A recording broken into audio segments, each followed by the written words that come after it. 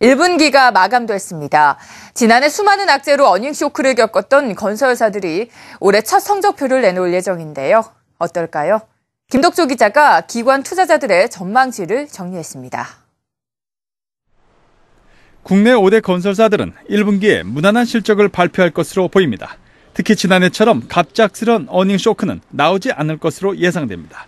1분기 영업이익 1위는 예상대로 현대건설이 차지할 것으로 보입니다. 예상 컨센서스는 1,800억 원대 초반, 이어서 삼성물산이 1,300억 원대, 특히 전년 대비 배 가까이 영업이익이 증가할 것으로 예상됩니다.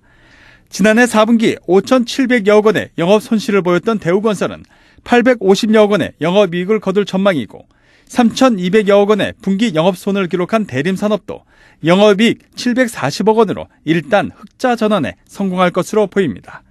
GS건설은 적자 폭이 줄어들긴 하지만 1분기에도 흑자 전환은 어려워 보입니다.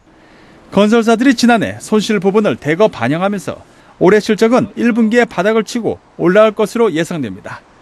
그렇다면 5대 건설사 실적에 영향을 줄 각사별 주요 변수는 무엇일까? 현대건설은 2012년 수주한 13억 4천만 달러 베네수엘라 정유공사 지연 영향이 하반기에 나타날 수 있습니다. 삼성물산은 호주 로일 프로젝트와 삼성전자의 17라인 공사 진행 여부가 올해 실적을 결정할 변수입니다. 대림산업은 해외 수주 회복이 관건입니다.